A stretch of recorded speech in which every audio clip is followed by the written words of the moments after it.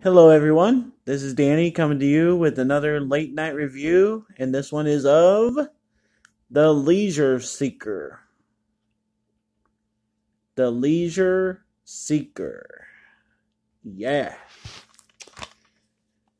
The Leisure Seeker stars Academy Award winner Helen Mirren and two time Golden Globe winner Donald Sutherland as a runaway couple going on an unforgettable journey in the faithful old RV they call the Leisure Seeker.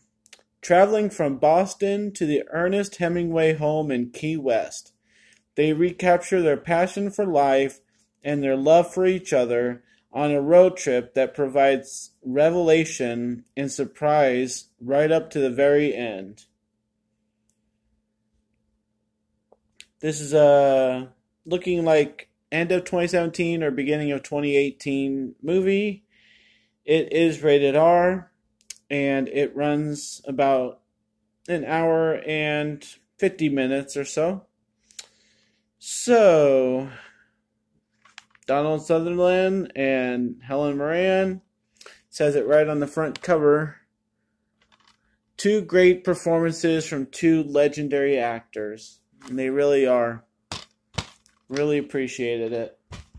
So, when I had not heard of this movie, and I don't think anybody else has, showed up on my list. I got from the library. I gave it a chance. I didn't know what it was going to be about. I was like, seriously asking myself, how can you make a two hour movie out of somebody that's seeking leisure? It's like, what, what is this movie going to be about? Them just lying on a beach for two hours or what? So, not what I thought it would be. Very surprising, very entertaining, and these two bounce off of each other well. They play their sick or, you know, sort of sick or really old sickness kind of characters very well.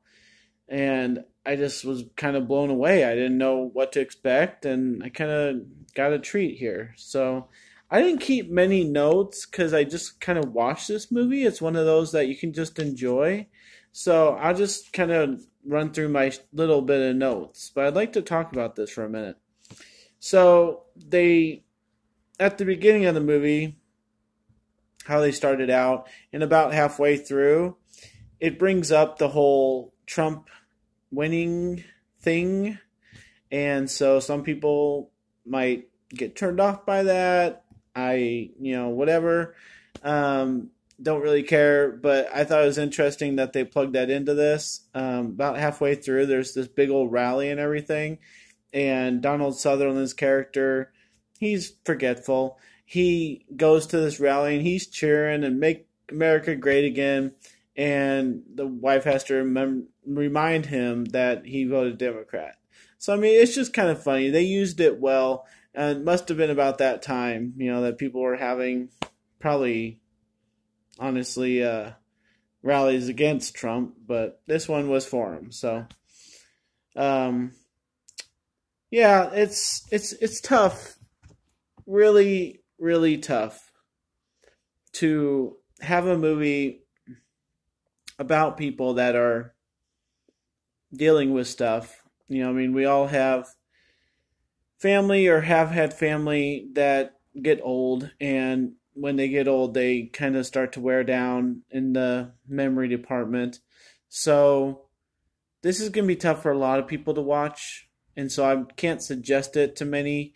This is going to be one of those movies that you have got to want to watch and you got to understand that it's just a movie and even then it gets a little bit tough. Because donald sutherland's character is the one. He's just he actually says at one point, well, I start the sentence, and by the time I get to the end of it, I really have no idea what's going on. And there's a lot of times he's himself, and then not himself, and then in some alternative memory. It it gets really tough. So I just want to forewarn people that that's what's going on. You know, they're in the this leisure seeker RV. That's the only you know leisure part of this movie. The rest of it is very serious, very heavy, and very hard to take if you have any experience at all with this in real life. It does have some repetitive memories that keep coming up because obviously he gets stuck on certain things that he can actually remember. Donald Sutherland does. And so some of them are kind of funny. Um, he keeps bringing up this boyfriend that his wife had 50 years ago, and he's really sure, you know, in his alternative state of mind, that um, Dan just, you know, loved his wife and he wants to get behind it. And at one point, he gets this gun out and points it at her and says, I'm going to confront Dan. I know you love him still. And, you know, he's just, and it's kind of sad and funny at the same time, but they actually go to find Dan. And I was like, wow, that's cool. So they fulfill some things. Um, Lillian is their next door neighbor, I guess, like their whole life and I guess he has an affair with her. So there's a whole scene about that uh, back in the day and everything. But there's a memory scene about that, um, and then you know this whole gun situation. They're not supposed to have it. They didn't think they have it. They thought they left it at home. They say that after they used the gun in the last scene. Uh, they try to get robbed, but then they bring out the gun and they don't know if it's loaded or not. Then there's another time he threatens to shoot it and the gun might be loaded. I don't know.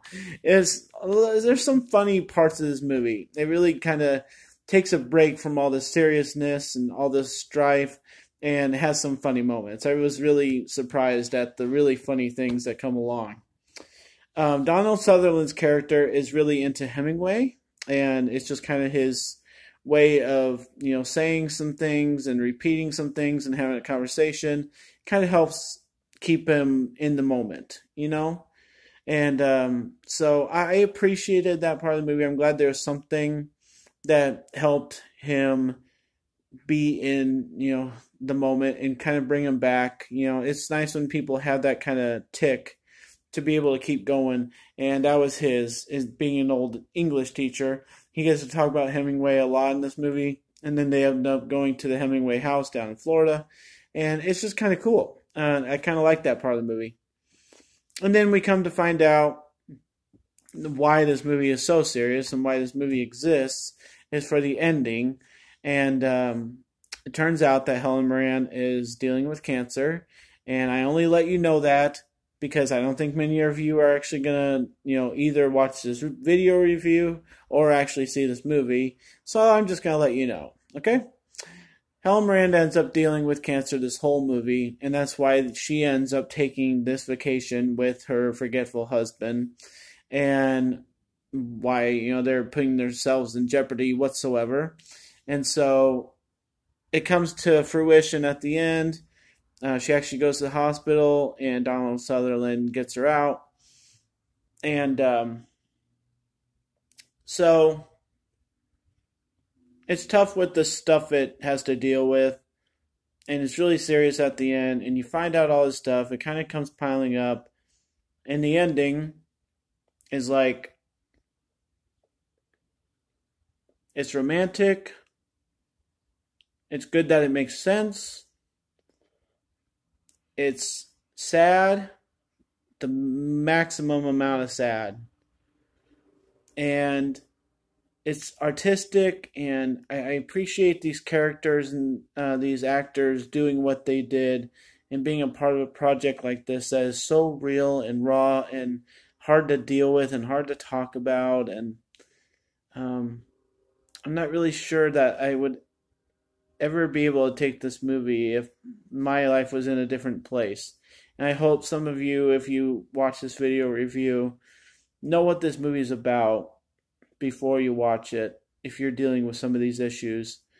Because the ending, they end up actually killing themselves so that they can punch their own ticket when they see fit. Helen Mirren is dealing with cancer. She knows her time is almost up. Donald Sutherland can't remember a thing, and he can't survive by himself. Even if she were to die of cancer, he wouldn't be able to survive in a home. Um, everything about it makes sense, but it's just so sad. And um, I won't tell you how it happens because I want there to be some surprise, but I was kind of left in shock. I, you know, can't, I was like a no kind of a moment. I just, it's so bad. So I appreciate this movie, and but I want to utmost point out how serious this movie is. It has its funny moments. It has its great acting times. It has beautiful scenery. Has great people along the way. Um, since it's an adventure movie, has great people along the way. Just kind of nice and you know light characters and things that happen and um, Donald Sutherland's character keeps stating that he wants a burger. He keeps saying it until he gets it. It's just how, you know, this kind of people, some people get when they get older. It's just how it goes. So I want to give The Leisure Seeker a B. I do suggest watching it if you ever come across the path of it. These are two obviously legendary actors. They're going to be known for lots and lots of things in their life. I hope some people watch this eventually. Um, I enjoyed it. I laughed a lot more than I thought I would, and I literally cannot believe the ending. It was just blew me away. And uh, some people don't have enough guts to make a movie like this, and you got to be really professional about the way you make this. And I think it came across that way, and so I appreciate it. So, thanks a lot, guys. My name is Danny. If you like this or any more of my videos. I've made a lot of them. Go and try and give some of them a watch. Like and subscribe to my channel if you would. And again, a B for the leisure seeker. Try and give it a chance and enjoy movies, guys. Thanks.